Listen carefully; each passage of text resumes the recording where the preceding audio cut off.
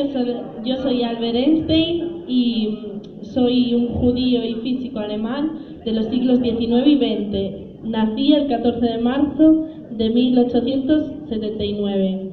Y bueno, fui conocido principalmente por eh, inventar el efecto fotoeléctrico, por el que obtuve el premio de Nobel de Física en 1921. Eh, también hice la explicación teórica del movimiento browniano, que era el movimiento de las partículas de la materia.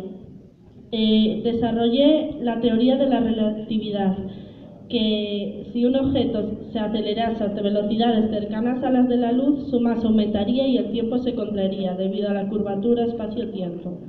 Y también hice la equivalencia masa-energía, que como todos conoceréis de biología es E igual a m por c cuadrado. Y fui reconocido como el mayor científico del siglo XX. Ahora os, os comentaré unas curiosidades sobre mi vida. Eh, no entré en la universidad porque suspendí las materias de letras como biología e historia y tuve que ir a una academia de clases particulares. Y otra anécdota sobre mi vida es que una vez un periodista me preguntó si podía explicarle la teoría de la relatividad, a lo que yo le respondí si él podía explicarme cómo se fríe un huevo. Y me dijo, pues claro, sí. Y yo añadí que tenía que tener en cuenta que yo no sabría lo que es un huevo, ni el aceite, ni la sartén. Y ahora mis compañeros os van a, decir una serie de curiosidades sobre mi vida.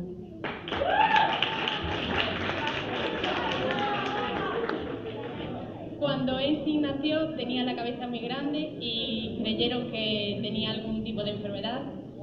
Además nunca fue muy guapo, pero durante toda su vida tuvo muchas amantes porque decían que eh, su atractivo era su inteligencia y además cuando era pequeño no sabía crear frases y sus padres creían que tenía un tipo de retraso, pero a los nueve años ya empezó a hablar con normalidad. Hola. Eh, Einstein era una persona tan importante en todo el mundo que hasta el gobierno de Israel eh, le ofreció ser su presidente, un cargo al que él se negó a aceptar. Eh, el personaje de Yoda en la película de Star Wars está basado en Einstein. Eh, ah, Marilyn Monroe le pidió matrimonio y él le dijo que no, y ella le dijo que por qué no, que sus hijos serían muy inteligentes con su inteligencia y muy guapos con su belleza, y él le contestó que no, que tenía miedo a que fuesen muy, o sea, tan feos como era él y tan tontos como venía siendo él, supuestamente. Gracias.